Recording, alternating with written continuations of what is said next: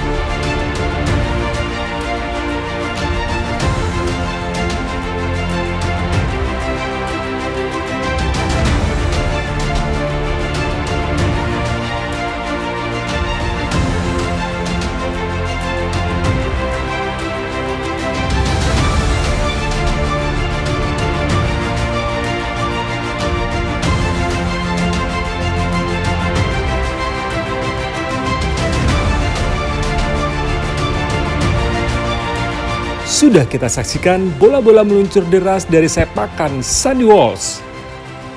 Hilang sudah penasaran gimana gaya Sandy Walsh menghajar gawang lawan dengan bola yang ia tendang. Jangan lupa subscribe dan tunggu info timnas highlights selanjutnya. Tetap terus bergerak.